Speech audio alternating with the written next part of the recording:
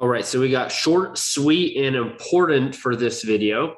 What QA would you do on a new scanning tank? What is the reference chamber used for? And draw a percent depth dose with and without a reference chamber.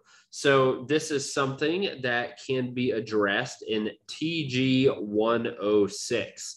Important again, um, always TG 101, TG 106, always mention what task groups are associated with this question. And specifically, it's good to even read TG 106 because it will go not only in further detail, but probably mention tests I've already forgotten. So reference TG 106, uh, review it. And so, first things, uh, use distilled water ensure that no algae is in the tank that's kind of for obvious regions reasons but in your hose or tank if you don't dry it out well, algae can grow. You could also use a small amount of chlorine to prevent that if you'd like.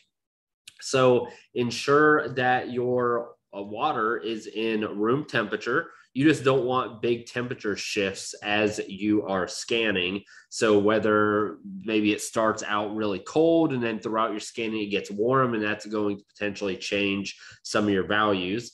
So ensure that there is a 5 cm overscan distance. So you don't want to max out your chamber or your tank dimensions by scanning the entire dimension. You want to have 5 cm overscan.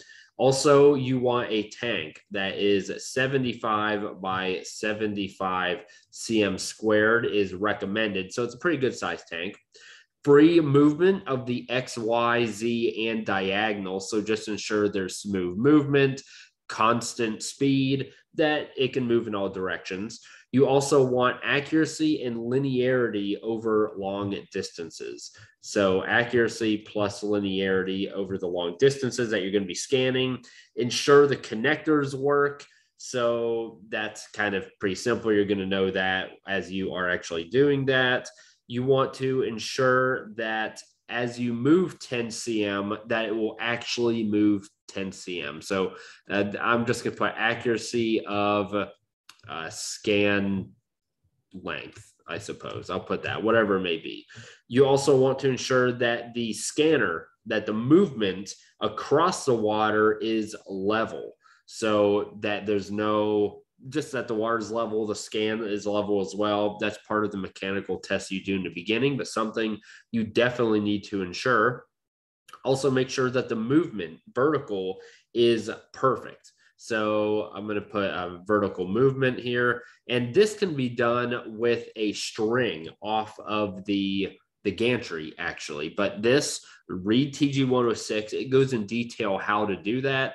Essentially, because you may have your collimator here and you can attach a string because of gravity, not my drawing, that's horrible, but because of gravity, the string is going to be perfectly vertical, and you can help verify that when your chamber is moving vertically that it moves along that line so it's not moving diagonally either. Horrible drawing but give me a little break there.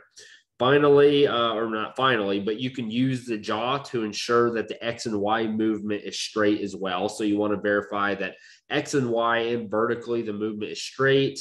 You need to know if you need to shift the PDD or if the software is going to automatically do it. So TG 106 important. This is something that I think they could ask things that not everyone does. So it's important to know what to do in case they do ask it so you have some answers and you know how to just answer that question. Now, what is a reference chamber used for? So this removes instantaneous fluctuations or drifts in the incident beam output. So that is best described with a drawing of a PDD.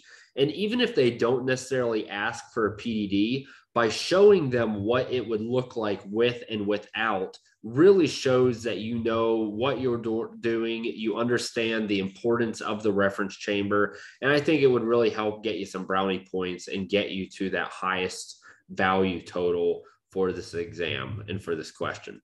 So say this is a normal PDD. This is with reference chamber. So, as I mentioned, it's going to remove all those fluctuations within your reading. So, it should be smooth, it should look nice. And then if you don't have it, you're going to see something. Now, the general trend obviously is going to look the same. You still see the same curve. And I mean, maybe I dramatize this a little bit, but it will look a lot more fuzzy. There will be a lot more fluctuations. And so knowing the two differences between them, I think is important. And again, if you could demonstrate you know those, I think that will help you a lot. So short video for today. If you have any questions, comment below, read TG106 and you'll be good to go.